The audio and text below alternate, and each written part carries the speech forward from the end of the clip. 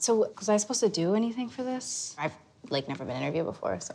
It's really easy. Um, okay. Question one. How old are you? 18? Yeah. So you're a senior? Yep. Do you have a boyfriend?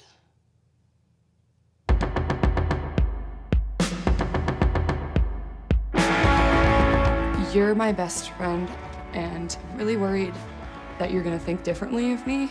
I, um, I like somebody or whatever. Oh, yeah?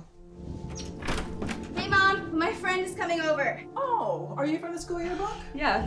All of a sudden, my heart's just. Oh my god, I'm so scared.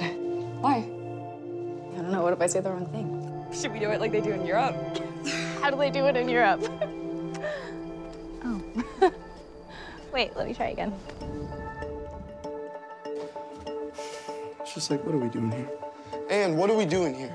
Um, uh, Never mind. Don't answer that.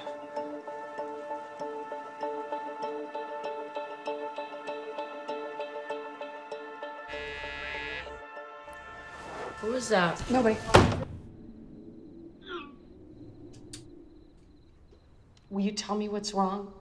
I can tell something's wrong.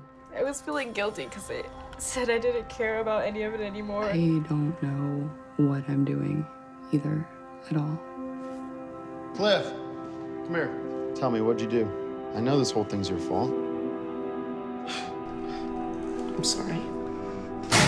It's just like there's no way she'll forgive me. Why are you being so mean to me? I'm just trying to collect all the facts here. I'm not comfortable with this. I feel like my daughter is being accused of something. I mean, the whole school knows that these two hooked up, okay? I was drunk. Oh, come on. There should really be a policeman.